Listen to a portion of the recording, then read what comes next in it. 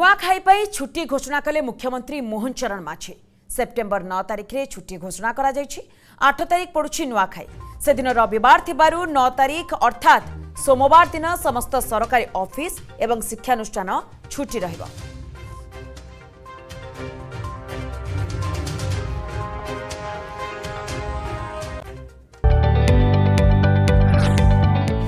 जदि आपण को आम भिडी भल लगा तेब आम चेल्क लाइक सेयार और सब्सक्राइब करने को जमा भी बुलां नहीं